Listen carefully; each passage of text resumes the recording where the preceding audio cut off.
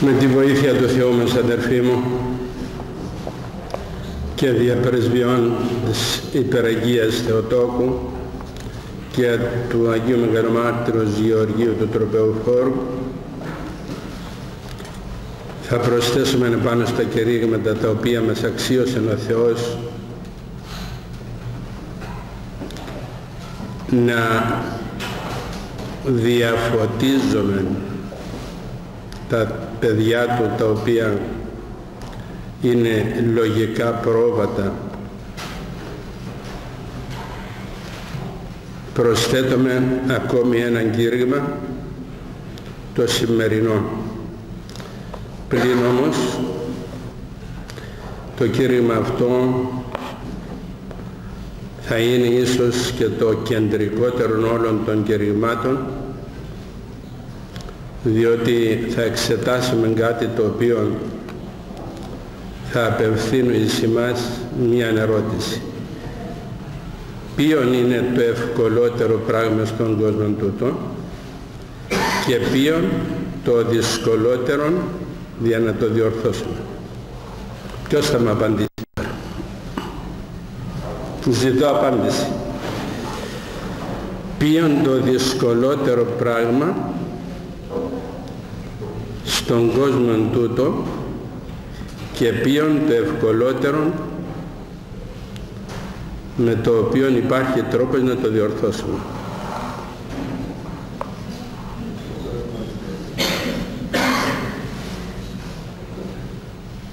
Νομίζω από αυτό που την γνώμη ότι η αιμαρτία είναι το ευκολότερο. Και να το διορθώσουμε θεωρείται το δυσκολότερο. Αλλά όχι είναι δύσκολο para το ανθρώπινο, είναι εύκολο το Θεό. Μάλιστα. Ο ευκολότερος τρόπος για να πράξουμε την αμαρτία και ο δυσκολότερος τρόπος για να την διορθώσουμε.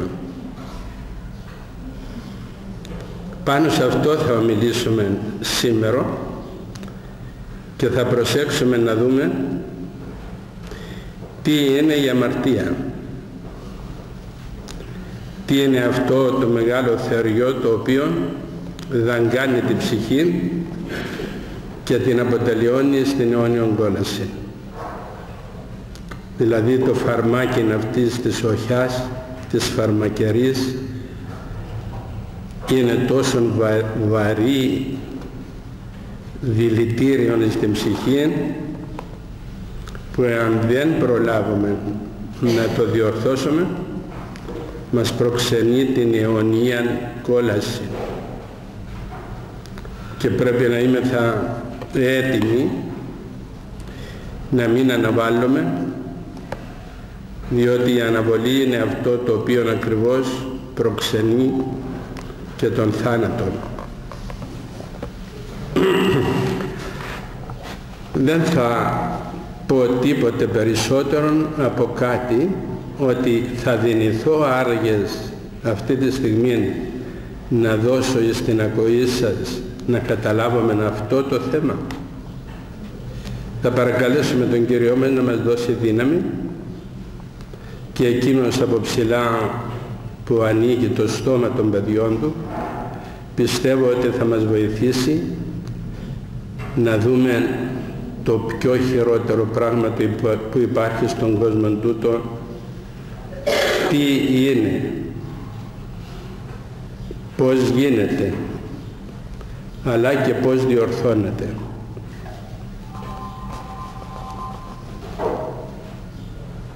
Να καταλάβουμε τι είναι η αμαρτία, διότι γίνεται τόσο εύκολα και δεν τη λαμβάνουμε καθόλου υπόψη. Κανένα πράγμα στον κόσμο τούτο δεν γίνεται ευκολότερο από την αμαρτία και κανένα πράγμα στον κόσμο τούτον δεν καταλαβαίνεται, καταλαβαίνεται εύκολα. Δεν το νιώθουμε. Δυσκόλως το καταλαβαίνουμε. Και η αφορμή είναι ότι εύκολα αμαρτάνουμε και δύσκολα μετανοούμε. Πρέπει να σφίξει πολύ ο Κυριός μας τα λουριά που λέμε για να μπορέσουμε να έρθουμε εις μετάνοια. Να σου δώσει τέτοια περιστατικά ο Θεός και αν δεν αντιληφθείς ότι η αιτία η οποία σε κάνει να υποφέρεις είναι η αμαρτία δεν μετανοείς και τούτο ήθελα να το επαναλάβω το είπα πολλές φορές αλλά δεν θα πάψω να το επαναλαμβάνω ότι στον Ιερό Ναό του Αγίου Γεωργίου πλιστάκης ομολόγησε ο διάβολος ότι προσέχετε τα λόγια του, τα μεταφέρω τα ίδια. Με τα κλωτσοκοπήματά μας λέγει τους εφέραμεν εδώ λέει. Αν δεν επέτρεπε λέει κανείς από αυτούς δεν θα ήταν εδώ. Επροσέξαμε ότι η δυσκολία η οποία συμβαίνει στη ζωή μας εκείνος ο οποίος μας τυραννεί είναι ο κακούργος. Και για να αποφύγουμε την τυραννία του καταφεύγουμε στον Θεό και ευτυχώς που καταφεύγουμε στον Θεό διότι υπάρχουν και εκείνοι οι οποίοι ενώ υποφέρουν από τον διάβολο καταφεύγουν στον διάβολο για να τους σώσει αν είναι δυνατόν ένας κακούργος να σώσει κάποιον που πηγαίνει κοντά του για να έβρει λυτρωμό. Εκεί θα τον αποθάνει τελείως. Από εκείνα που λέγουν οι, οι σοφοί και οι ιεροί διδάσκαλοι της Εκκλησίας μας, οι θεολόγοι οι οποίοι ασχολούνται με τα πνευματικά και με την Αγία Γραφή, βγαίνει μόνο ένα συμπέρασμα ότι η κακία δηλαδή η αμαρτία είναι άπειρος. Δηλαδή όταν αμαρτάνουμε νομίζουμε ότι δεν είναι τίποτε ενώ είναι τόσο φοβερό το κακό λέει που είναι άπειρος απέραντος ακατάληπτος. Ο άπειρος Θεός λέει ποιον μπορεί να τον καταλάβει τον Θεό και τόσο είναι και η αμαρτία την οποία μπράττουμε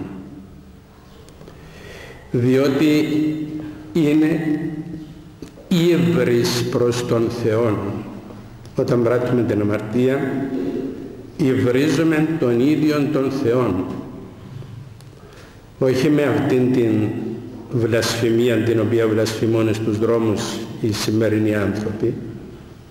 Αυτό είναι λιγότερο από την αμαρτία.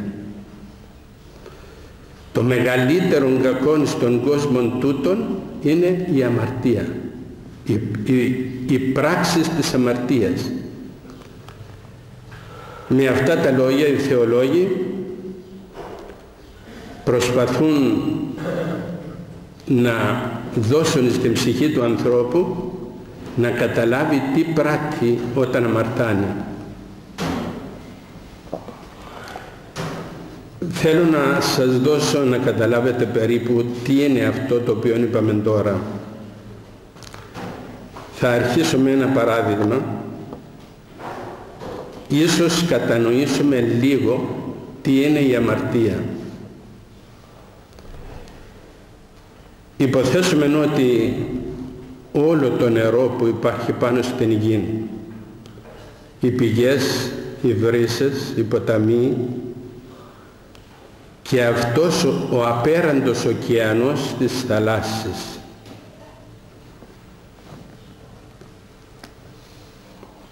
Υποθέσουμε ότι είναι γλυκή και αυτή η θάλασσα, η ωκεανή, ότι είναι γλυκή νερό. Το νερό το οποίο τρέχει από τα βουνά, από τους ποταμούς και πηγαίνουμε στους μεγάλους ωκεανούς που χωρίζουν τον κόσμο και διασχίζεται με τα πλοία τα μεγάλα. Υποθέσουμε ότι κάποιος κρατάει ένα σταγονόμετρο και περνώντας από πάνω από αυτά τα νερά ρίχνει μία σταγόνα πικρού νερού. Μία σταγόνα με το σταγονόμετρο.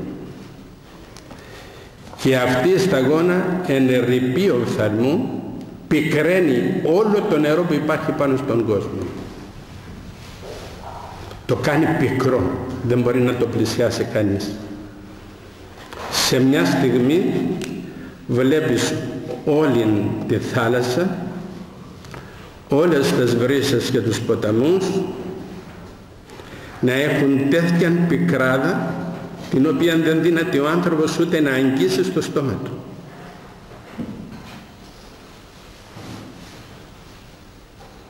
Όλα τα αυτά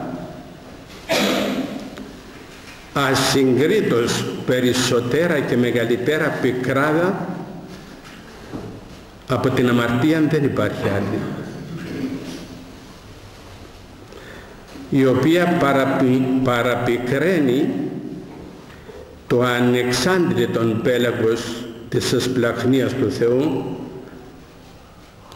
ώστε να γίνει ένα φαρμάκι πικρό. Προσέξουμε αδερφοί μου τούτα τα λόγια διότι είναι λόγια τα οποία δεν κατανοούνται εύκολα. Όταν βλέπουμε έναν πατέρα να παίρνει το παιδί του και να το οδηγεί στην αμαρτία άραγες να ένιωσε ποτέ τι κάνει αυτός ο άνθρωπος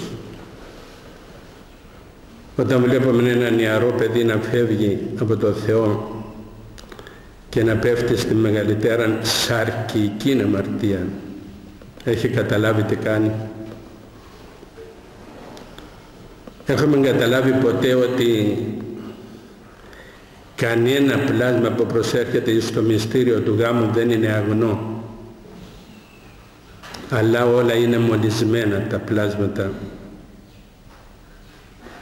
το έχουμε νιώσει τι είναι αυτό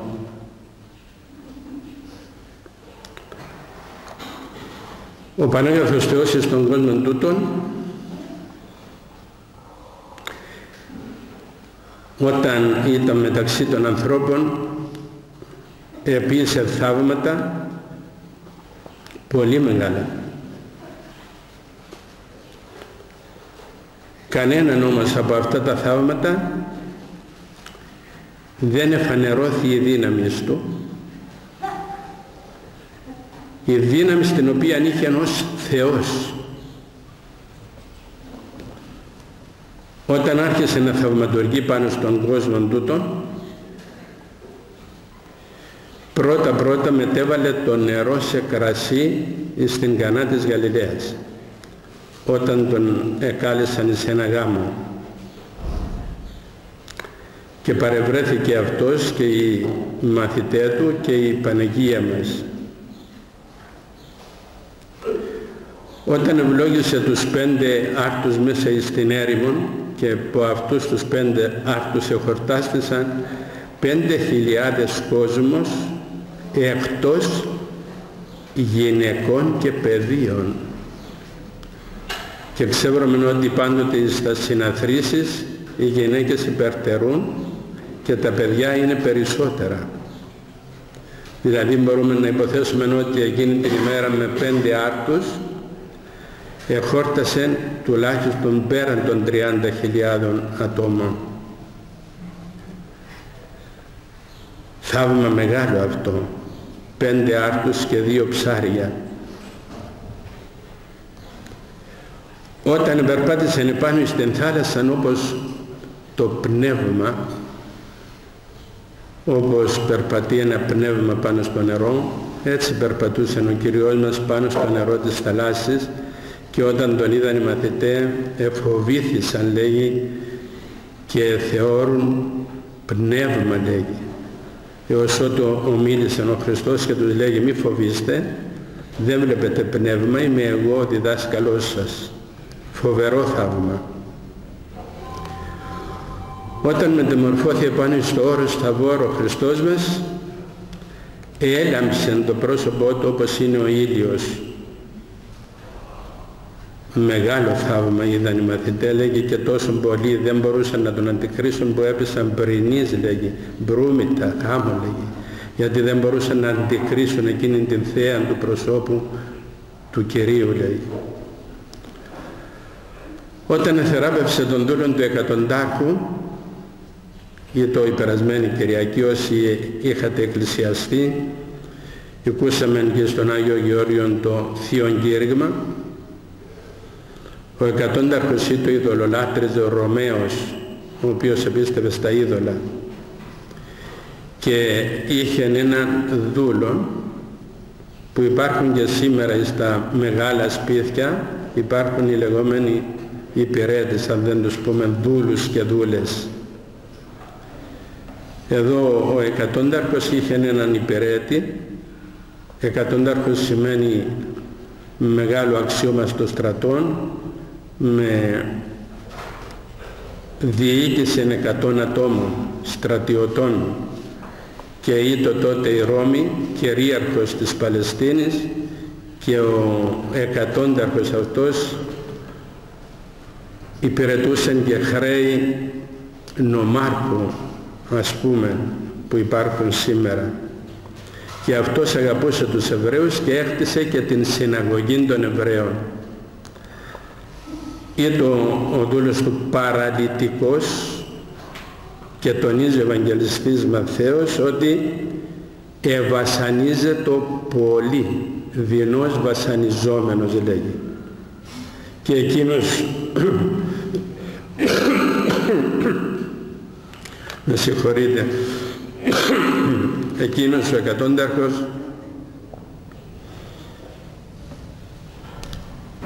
Δεν απέστρεψε τους οφθαλμούς του και να πει ότι δούλος είναι. Τι να του δώσω σημασία. Διότι οι δούλοι της τότε εποχής δεν είχαν καμία προσωπικότητα, καμία αξία η δύνατο δηλαδή το αφεντικό του να τον φωνεύσει, να τον κομμαθιάσει, να τον κάνει κομμάτια μικρά μικρά και να τον ρίξει μέσα στις ε, δεξαμενές τις οποίες είχαν γεμάτες από ψάρια για να τραφούν τα ψάρια ή να τον πουλήσει ή να τον αγοράσει. Αυτός ήταν ο δούλος της τότε εποχής. Ήταν σαν ένα είδος αντικειμένου το οποίο πουλεί ο άνθρωπος και αγοράζει. Αυτός όμως ο εκατόνταρχος δεν είπε αυτά τα λόγια αλλά επώνεσε τον δούλον του ο οποίος ήταν παράλυτος, δεινός βασανιζόμενος και ήκουσε δια των Χριστών. Ήκουσε δια τα θαύματά του, τα μεγάλα θαύματα και ξεκίνησε και έφτασε στον Χριστόν γονατιστός είναι τούτο το οποίο λέγουμε ήθελε να πρόσεχαν και οι σημερινοί άρχοντες οι οποίοι πάνε και κάθονται σε μεγάλους εσπερινούς όπως ο εχθεσινός και βάζουν και το ένα πόδι πάνω στο άλλο. Δεν γνωρίζουν ότι από τη στιγμή που θα βάλεις το πόδι σου το ένα πάνω στο άλλο πόδι την ίδια στιγμή εκδηλώνεις τον εγωισμό σου, την υπερηφάνειά σου. Δεν το γνωρίζουν αυτό. Το βλέπεις μόλις καθίσει αμέσως θα σηκώσει το ένα πόδι να το βάλει πάνω στο άλλο. Αυτό σημαίνει άκρατος εγωισμός.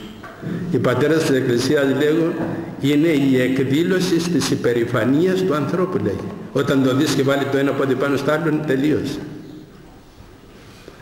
Αυτός ο εκατόνταρχος φτάνει στον Χριστόν γονατιστός και πέφτει στα πόδια του και του λέγει Κύριε μου το λέγει Έχω τον δούλο μου, ο οποίος πάσχει φοβερά, είναι παράλυτος και υποφέρει από πόνους φοβερούς.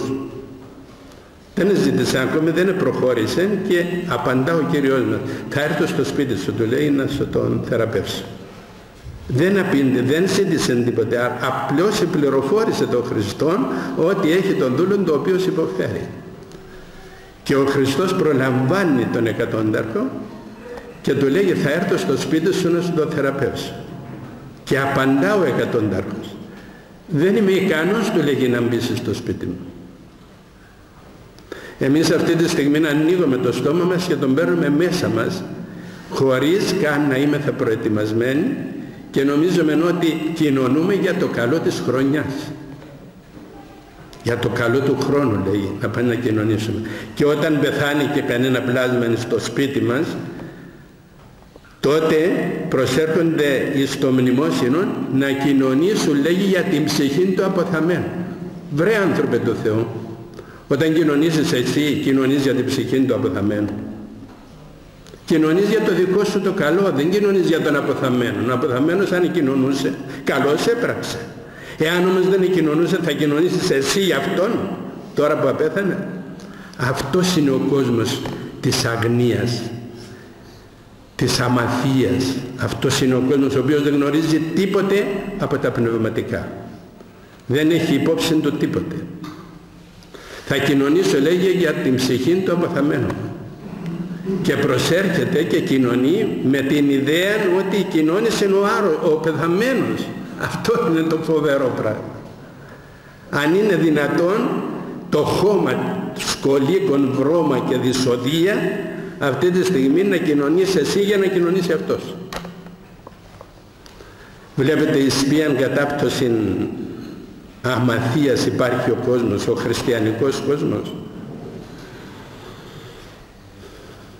Ο Κύριος μας όταν ήκουσε αυτά τα λόγια λέγει «Εθαύμασεν». Εθαύμασεν ο Κύριος λέγει μόλις ήκουσε τον εκατόνταρχον τον ειδωλολάτρη μόλις τον ήκουσε και είπε αυτά τα λόγια λέγει «Εθαύμασεν ο Χριστός» και άνοιξε το στόμα του και είπε ότι ούτε εν το Ισραήλ το σάφτην πίστην εύρω λέγει. Μέσα σε όλους τους Εβραίους λέγει δεν έχω έβρει πίστη να φτάνει αυτόν τον ειδωλολάτρη. Μα εθαύμασε ο Χριστός, θαυμάζει ο Χριστός, ο Χριστός ήταν άνθρωπος αλλά ήταν Θεός. Γιατί έγραψε ο Ευαγγελιστής Μαθαίος ότι εθαύμασε λέγει ο Θεός για να καταλάβουμε εμείς οι άνθρωποι ότι ο Κύριος μας εκείνο το οποίο βλέπει δεν μπορούμε να μην να το δούμε πρώτο. Και το δεύτερο ότι εμείς λέγει που είμεθα κοντά στον Θεό να καταλάβουμε ότι ένας ειδωλολάτρης μας περνάει στην πίστη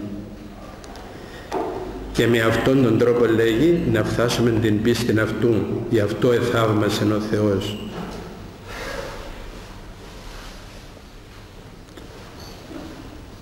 Επίσης ο Κυριός μας επισκέφθη το σπίτι του Πέτρου και βρήκε την πεθεράν του πυρέσουσα λέει με φοβερών πυρετών και ίγγισε επάνω της λέγει και έφυγε ο πυρετός και ηγέρθηκε διεικόνη λέγει των Χριστών και τους μαθητάς. Στην Κολυμβήθραν έβρεν έναν παράλυτον ο Κυριός μας ο οποίος ήταν 38 ολόκληρα χρόνια παράλυτος τον εθεράπευσε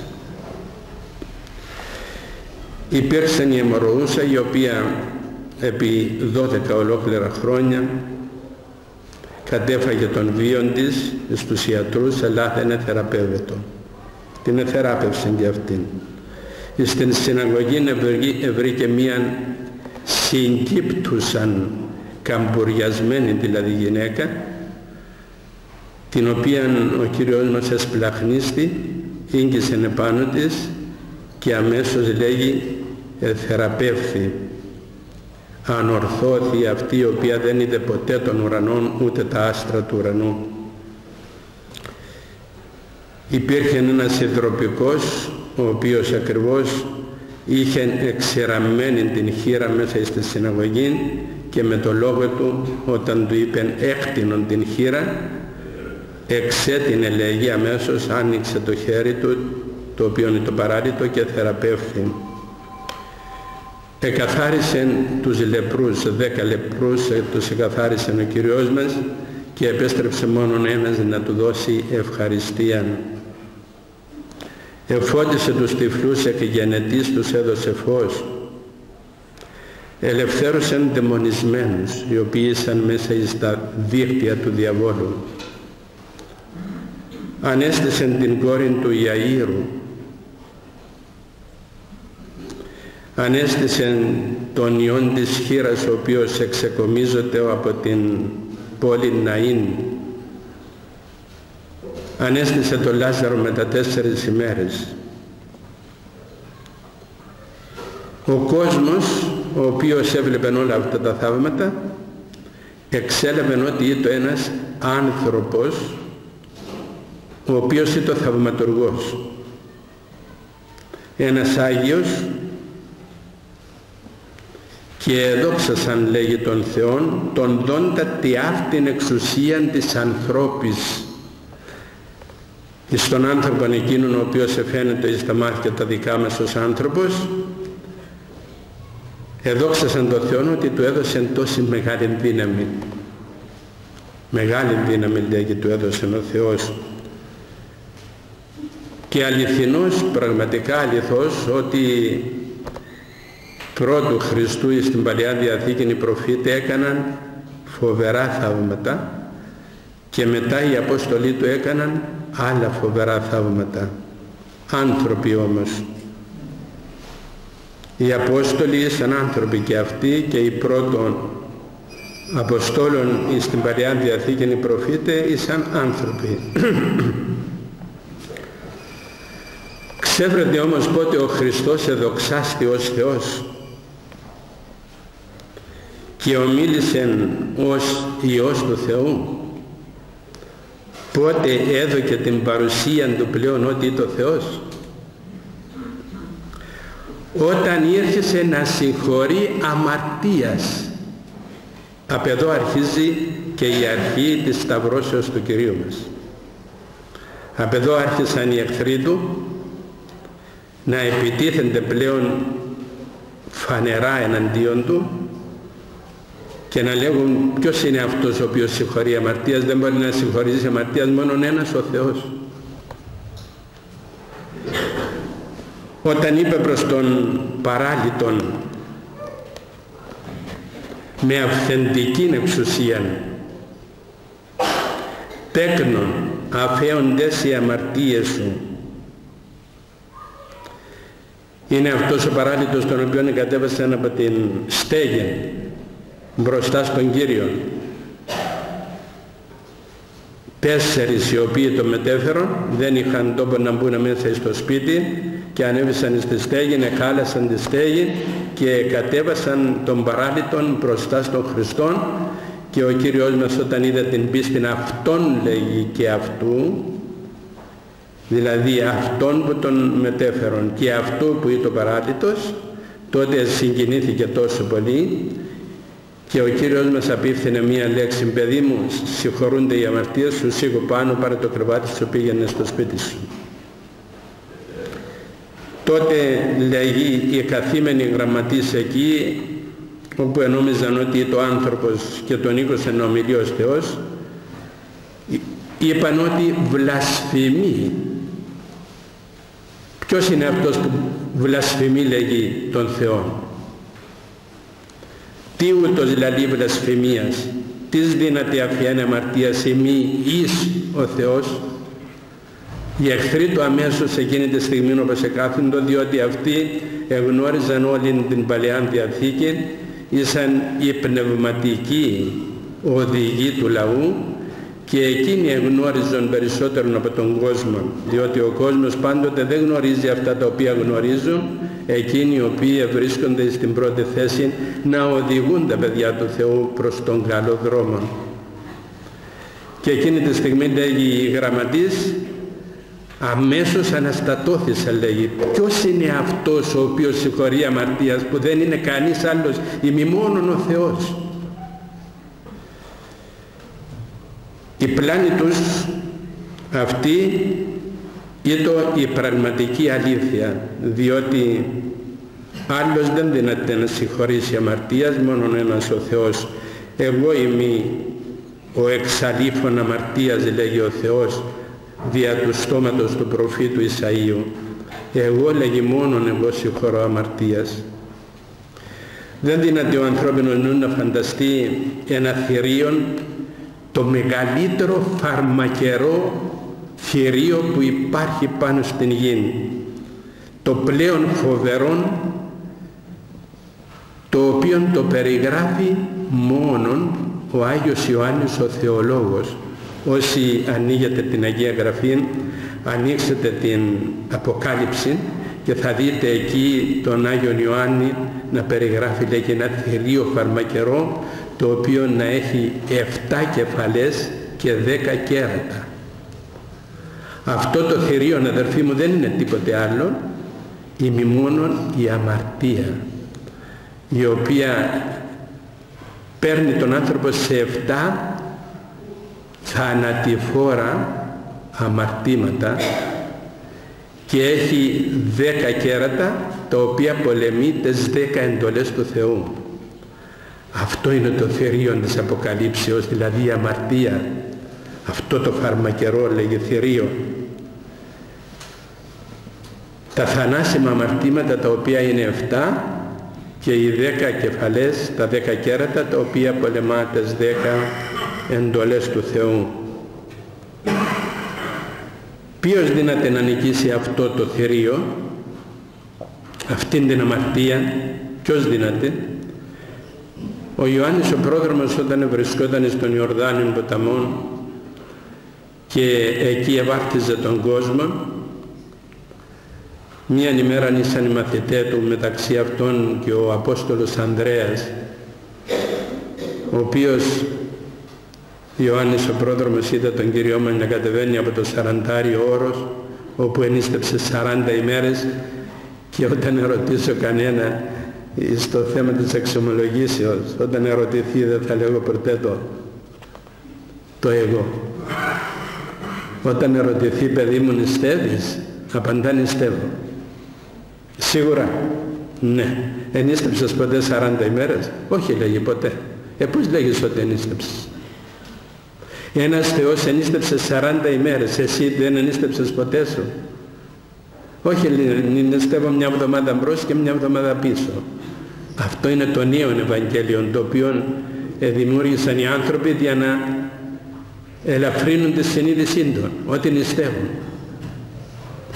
Νηστεύει ο Θεός, εμείς τρώγουμε τα κρέατα όπως τα όρνεα και δεν έχουμε ποτέ την αξίωση να νηστέψουμε διότι η νηστεία είναι μεγάλη αρετή.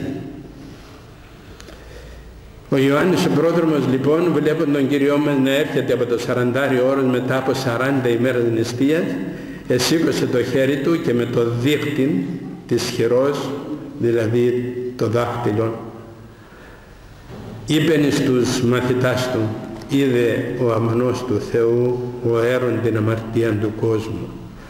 Τον είδε τον Χριστό μας να έρχεται ο Ιωάννης ο πρόδρομος και είπε ότι αυτό είναι το πρόβατο, το προβατάκι λέγει ο αμνός.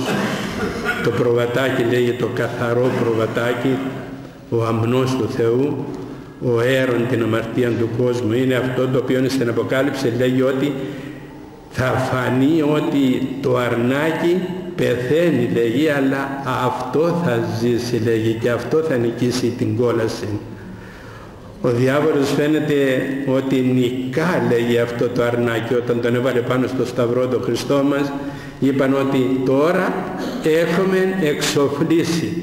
Εξαφανίσαμε αυτόν τον πλάνο δεν πρόκειται από εδώ και πέρα να τον ακολουθήσει κανείς πλην όμως λέει αυτό το αρνάκι το οποίο φαίνεται ότι επέθανε λέει, απέθανε, αυτό το αρνάκι λέγει είναι αυτό που θα νικήσει λέγει ολόκληρο την κόλαση. Είδε ο αμνός του Θεού έρον την αμαρτία του κόσμου. Μόνο ο Υιός του Θεού έχει την δύναμη να συγχωρεί αμαρτίας. Τούτο το κακό όμως είναι άπειρο και δεν δύναται να, να το εξαλείψει παρά μόνο μία δύναμη άπειρος. Το λοιπόν, πρόσεξε αδερφέ μου, σε αυτό το σημείο, ότι την ώρα που αμαρτάνεις, να ξέβρεις ότι η αμαρτία σου αυτή είναι άπειρος και ευρίζεις τον άπειρον Θεόν, αυτόν που δεν μπορεί να τον καταλάβεις ούτε να τον, να τον κατανοήσεις. Και τούτο είναι το φοβερό σημείο το οποίο πρέπει να προσέξουμε και να μην νομίζουμε ότι την ώρα που κάνουμε την αμαρτία δεν είναι τίποτε. Και τι είναι; Και τι είναι; Να πάρουμε αυτήν τη σαρκική αμαρτία που κουβαλούν οι δαίμονες, τα παιδιά του Θεού μέσα στην λάσπη της αμαρτίας Ξέρετε πως αποκρίνονται. Φυσιολογικό λέγει είναι το κακό αυτό. Είναι φυσιολογικό λέει. Ποιον μπορεί να μην το κάνει; Δεν δίνεται ποτέ ο Σάλιαγκας, ο Σάλιαγκας όταν περπατήχα μου βγάζει πίσω του μια γραμμή. Δεν μπορεί αυτός ο Σάλιαγκας ποτέ να καταλάβει ότι υπάρχει αετός που σχίζει τα νέφη και ανεβαίνει πάνω από τα νέφη. Δεν μπορεί να καταλάβει ο Σάλιαγκας ότι υπάρχουν αγνά πλάσματα στον κόσμο και λέγει ποιος είναι αγνός, έχει κανένα. Όλοι εφόσον είναι φυσιολογικό λέγει αυτό κάνει. Αυτό πράττει ο άνθρωπος και αυτό που πράττει είναι άπειρο διότι είναι κέντρο εναντίον του απείρου Θεού. Τώρα, αφού τελειώσαμε ως εδώ για την αμαρτία, θα προσέξουμε ένα πράγμα για να δούμε το βάρος της αμαρτίας. Υποθέσουμε ότι μπροστά μας υπάρχει ένα ζύγι. Μέσα σε αυτή της ζυγαριά από το ένα μέρος βάζουμε την αμαρτία. Από το άλλο μέρος βάζουμε όλη την αγιότητα των μακαρίων πνευμάτων, τα σεραφείμ, τα χερουβίμ, τους αγγέλους, τους αρχαγγέλους, τους δικαίους, τους προφήτας, τους αποστόλους, τους διδασκάλους, τους μάρτυρας, τους ασκητάς, όλη την αγιότητα του ουρανού. Την βάζουμε από την άλλη μεριά της ζυγαριάς.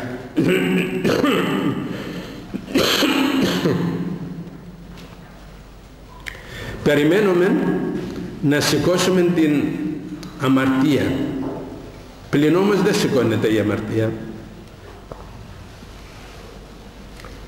Ούτε οι άγγελοι, ούτε οι Άγιοι με όλη τους την αρετή και τη χάρη, με όλη την εξουσία την οποία τους έδωσε ο Θεός, δεν δίνανται να συγχωρήσουν ούτε μία αμαρτία. Ένα φοβερό πράγμα. Βάζουμε την αμαρτία από τη μια και όλα τα τάγματα των αγγέλων, όλων των Αγίων, όλων των δικαίων και να μην μπορούν να συγχωρήσουν μία αμαρτία. Και τι θα γίνει, εμείς που είμαστε γεμάτοι αμαρτίες, τι θα κάνουμε. Ο Θεός μόνος ο Θεός, ο αμνός του Θεού, αυτός ο έρον την αμαρτία του κόσμου, αυτόν μπορεί να σηκώσει την αμαρτία. Τούτο είναι ένα βάρος αβάστακτον, ένα βάρος άπειρον. Και δεν δίνεται καμία δύναμη πάνω στον κόσμο τούτον και των άλλων κόσμων να συγχωρήσει αυτήν την αμαρτία που είναι άπειρος διότι μόνο ο άπειρος Θεός την συγχωρεί.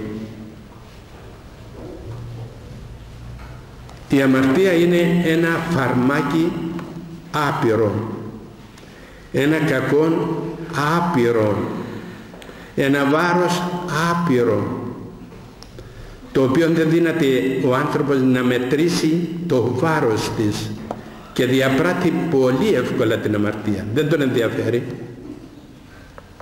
Δεν τον νοιάζει. Κάνει την αμαρτία και γελά. Σας είπα κι άλλοτε να επαναλάβω α, και πάλι αυτό.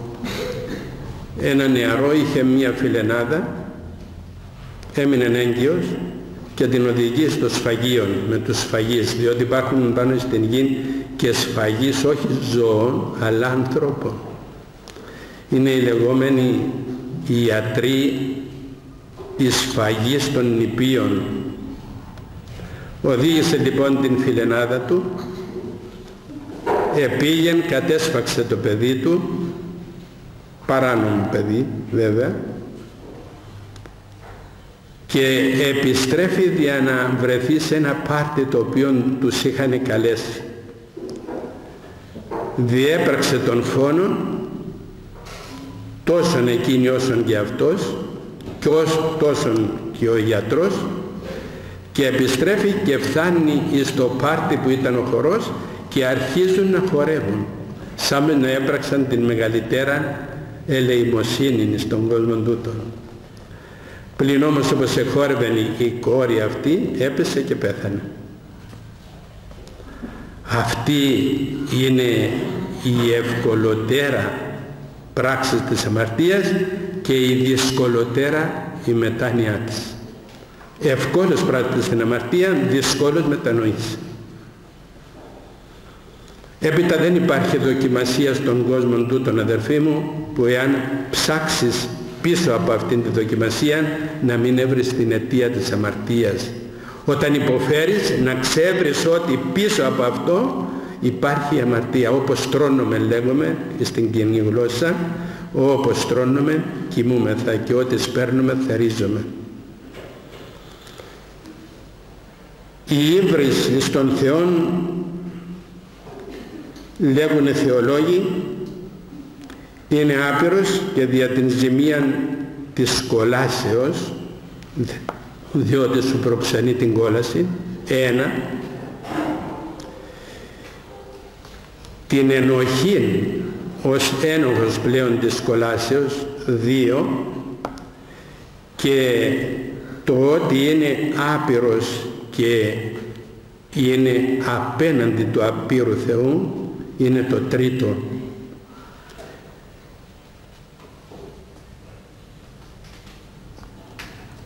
Οι περισσότεροι νομίζουν ότι δεν κάνουν τίποτε.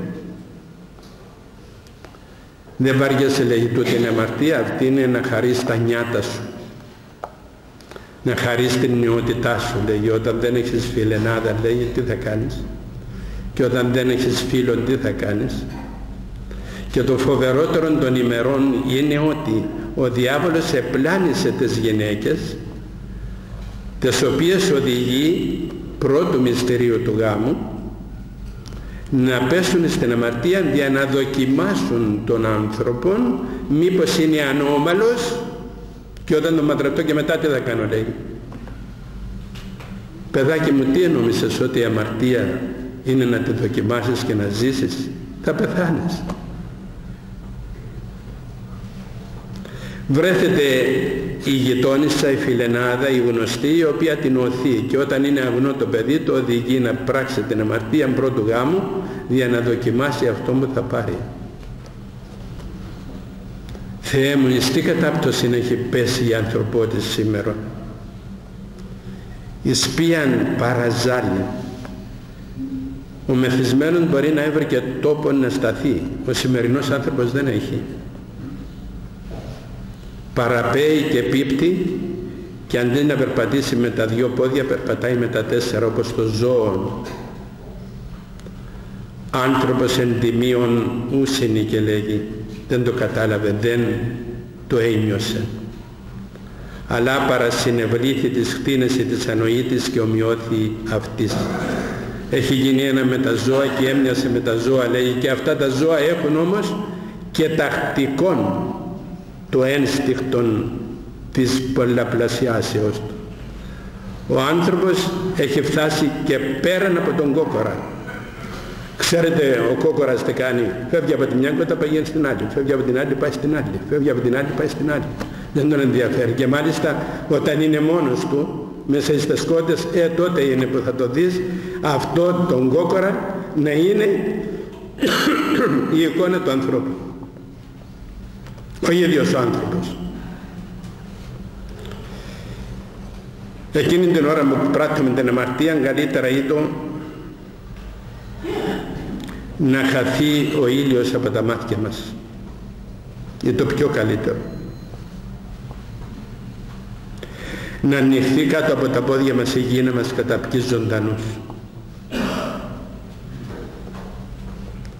Την ώρα εκείνη υβρίζομαι τον Θεό, τον πλάστην και λυτρωτήν. Υβρίζομαι την δικαιοσύνη Του. Με μίαν τολμηράν παράβαση των εντολών Του. Υβρίζομαι την αγαθότητά Του, μίαν απάνθρωπον αχαριστίαν εις τας ευεργεσίας του Θεού. Καταπατούμε το αίμα Του, το οποίο έχησεν επάνω στο σταυρό παροξύνουμε την κρίση του ανάπτουμε την οργή του χάνουμε την χάρη Του, φυγαδεύεται η χάρη του Θεού μόλις γευθεί την αμαρτία το αγνό παιδί, η αγνή κόρη, ο αγνός άνθρωπος, ο παντρεμένος άνθρωπος. Μόλις αγγίσει επάνω στην αμαρτία την ίδια στιγμή φυγαδεύεται η χάρη του Θεού. Δεν υπάρχει. Πέφτουμε στο μίσος του Θεού πλέον. Και μπορείτε να καταλάβετε τι είναι το μίσος του Θεού όταν σε μισήσει ο Θεός. Λέει ο Ιερός Χρυσόστομος ότι είναι μια κόλαση πριν της κολάσεως. Είναι ένα πράγμα βαρύτερο από την κόλαση.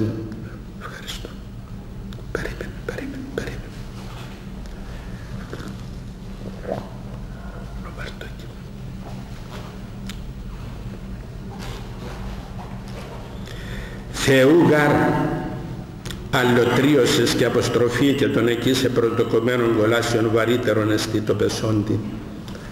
Τι λέει ο Ιερός Χρυσόστομος; Να το ερμηνεύσουμε.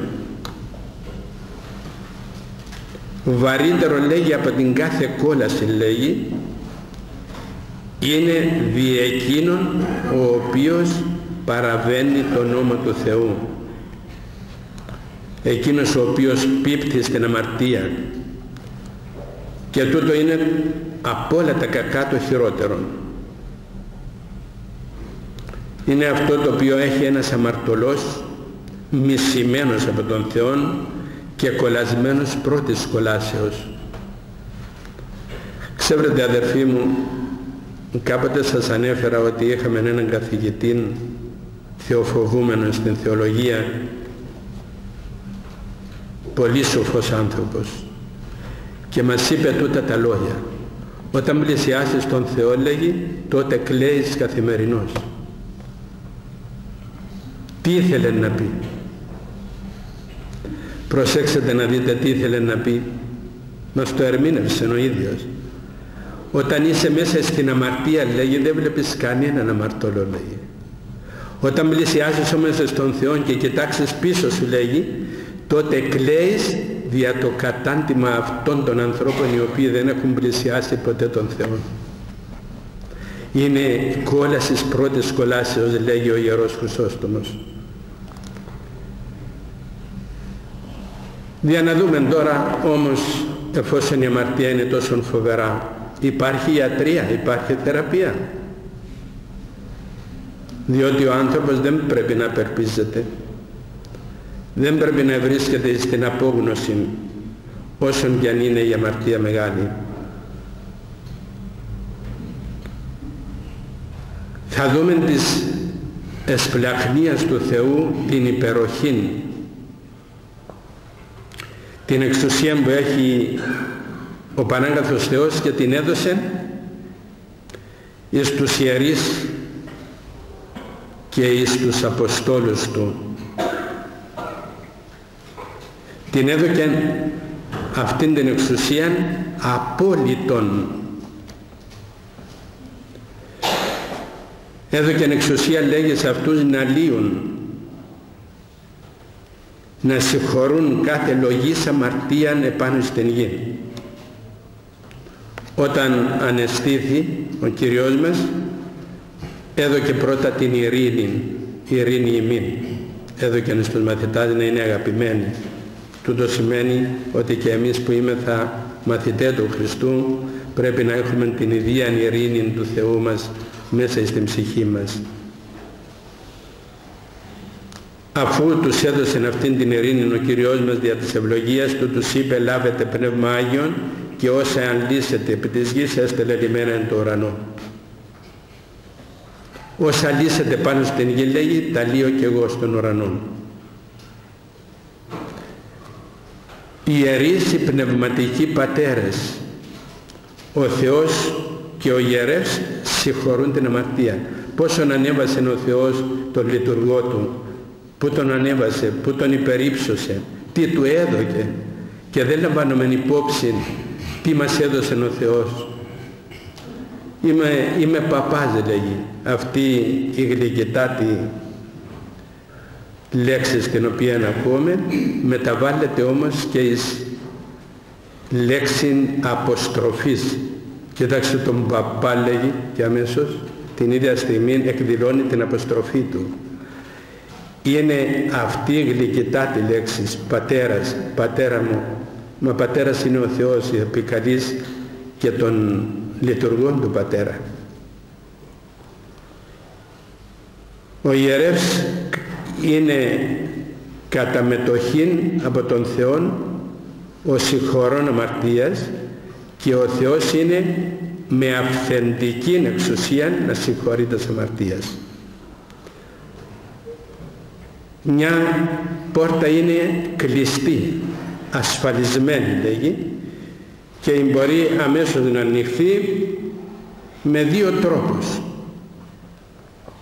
Με τρόπον υπερφυσικών, χωρίς κλειδί και εμέσως με τρόπο φυσικών με το κλειδί. Αυτή είναι η πόρτα η οποία ανοίγει. Η θύρα της Βασιλείας των Ουρανών είναι ασφαλισμένη δι' έναν αμαρτωλόν. Έχει κλείσει πλέον. Ένας αμαρτωλός ο οποίος πίπτεις στην αμαρτία έχεις ασφαλίσει η θύρα του Παραδείσου, δεν το δέχεται.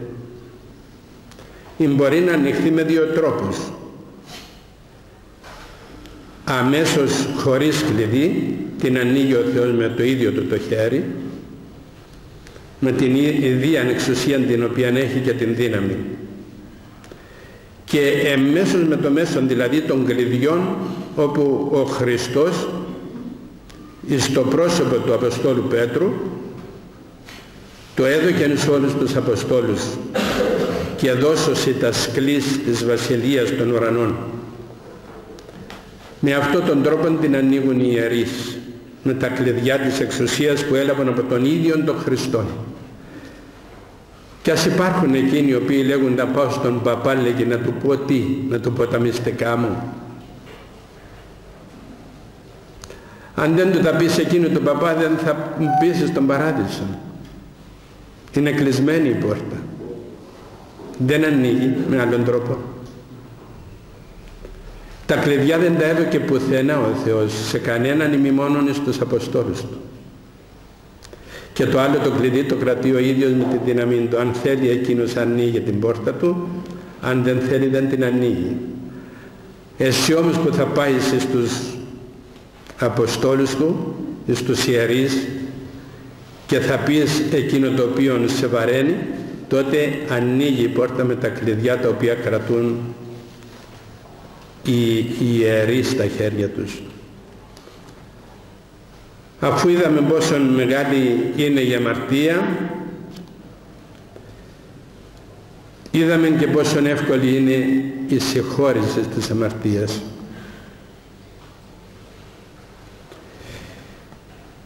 Χωρίς αμφιβολία ο Θεός μπορούσε να διατάξει την συγχώρηση της αμαρτίας με κάθε τρόπο τον οποίον ήθελε να εκλέξει. Μπορούσε η δύνατο να πει άνθρωπε έπραξες την αμαρτία ενώπιόν μου εγώ αν θέλω σαν δίκαιος κριτής πρέπει να σε παιδεύσω κατά το μέτρο της αμαρτίας σου την οποία έπραξες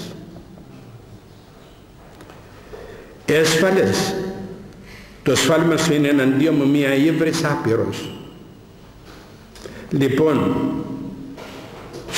σου ανήκει μία κόλασης άπειρος αιώνιος. Εγώ δια μία αμαρτία εξόρισα τον Ιωσφόρον από τον ουρανό. Όταν ήθελε να ανέβει πάνω από μένα, είδον τον σατανάν ως αστραπήν εκ του ουρανού πεσόντα.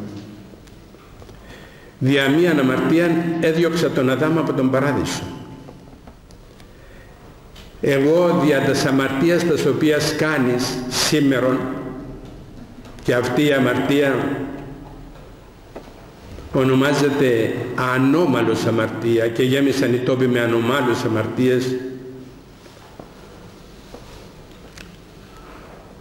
έβρεξα λέγει πήρα από τον ουρανό και κατέκαψα μίαν πόλη ολόκληρον δια την ιδία αμαρτία την οποία κάνει σήμερα. Έπεψα κατακλυσμών υδάτων και κατεπώντησα όλη την γη και εσύ είσαι άξιος της αυτής τιμωρίας. Τι θα γίνεις;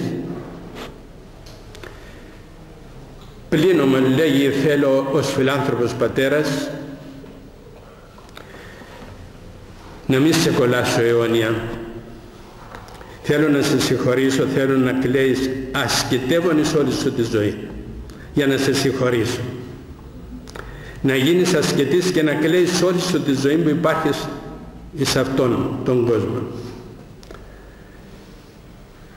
Μπορεί να θέλει ο Θεός να μαρτυρήσεις για την αμαρτία την οποία έκανες με το αίμα σου, να αρχίσεις το αίμα σου για να πλύνεις την αμαρτία σου. Αν ο Θεός ήθελε να διατάξει τέτοια λογής εμείς οι αμαρτωλοί έπρεπε να τον ευχαριστήσουμε χίλιες φορές διότι όσα και αν υποφέρουμε σε αυτόν τον κόσμο είναι μια σταγόνα στην αιωνιότητα, στο άπειρο, στο ατελείωτο. Λίγο να υποφέρουμε, αιώνια να είμαστε ελεύθεροι. Αν ήθελε ο Θεός να διατάξει κάτι τέτοιο. Είναι βαρύ πραγματικά να σκετεύσουμε, είναι βαρύ να μαρτυρήσουμε, να αρχίσουμε το αίμα μας, αλλά έπρεπε να το κάνουμε με χαρά για να συγχωρηθούμε. Αν ήθελε ο Θεός. Παρά να βασανιζόμεθα αιώνια στην κόλαση, καλύτερα να βασανιζόμεθα ο λίγους χρόνους στην παρούσα ζωή με μία άσκηση. Παρά να ζούμε αιώνια στην κόλαση, καλύτερο ήταν να αποθάνουμε μία φορά στο μαρτύριο ή στα δάκρυα. Πλήνω μας αδερφοί μου, αφού εφτάσαμε στο τέλος και είδαμε ότι η αμαρτία ευκόλως διαπράττεται και δυσκόλως διορθώνεται. Θα διαλέξουμε το δεύτερο ευκόλως θεραπεύεται. Με μία κίνησή μας όπως εξετάζουμε να έβρουμε τον καλόν ιατρών δια το σώμα το οποίο γίνεται χώμα με τον ίδιο τρόπο θα έβρουμε και έναν καλόν πνευματικό για να πούμε τον πόνο μας να εξαλείψει τις αμαρτίες μας. Διότι τη στιγμή που λέγει ο πνευματικός ότι η χάρις του Αγίου Πνεύματος δια της εμείς ελαχιστότητος έχει σε λελιμένον και συγχωρημένον την ίδια στιγμή ο Θεός στους ουρανούς λέγει τον ίδιο λόγο. Ναι παιδί μου είσαι συγχωρεμένος Πρόσεξε από εδώ και πέρα μην αμαρτήσεις. Είδε υγιής γέγονας μικέτη αμάρτανε ή να μη χειροντήσει γέννητε. Μη πράξεις άλλη φορά την αμαρτία για να μην πάθεις χειρότερα, δηλαδή να μην μπήσεις στην κόλαση αιωνίως. Αυτό είπε στον παράλυτον ο οποίος ήταν 38 χρόνια, παράλυτος στην κολυμβήθραν εκεί του Σιλοάμ, για να τον θεραπεύσει ο Κυριός μας. Αδερφοί μου, είδαμε το εύκολο της αμαρτίας. Είδαμε πόσον νομίζουμε ότι δεν είναι τίποτε. Είδαμε όμως τον Κύριό μας να έχει εξουσία να συγχωρεί τις αμαρτίες. Τον είδαμε να δίδει την εξουσία αυτήν στους μαθητάς του και φτάσαμε στο τέλος του Θείου Κηρύγματος με το αποτέλεσμα και το συμπέρασμα ότι εφόσον αμαρτάνουμε μας έδωσε ο Θεός τους δικούς Του αντιπροσώπους να πλησιάσουμε στην μετάνοια. Όχι στην εικόνα διότι υπάρχει και αυτός ο διάβολος ο οποίος παραπλανεί τον άνθρωπο και του λέγει δεν είναι ανάγκη να πας στον παπά λέγει Πήγαινε στην εικόνα μπέστα και είσαι έτοιμος να πάει να κοινωνήσεις. Πλάνη του διαβόλου. Οι εικόνες δεν συγχωρούν αμαρτίες. Μόνον το στόμα του ιερέως. Εκείνος θα πει αφέοντες οι αμαρτίες σου. Ας μείνουμε εδώ αδερφοί μου και ας παρακαλέσουμε τον Θεό να μας αξιώσει στον κόσμο τούτο να μετανοήσουμε και να αξιοθούμε της επουρανίου του Βασιλείας. Αμήν.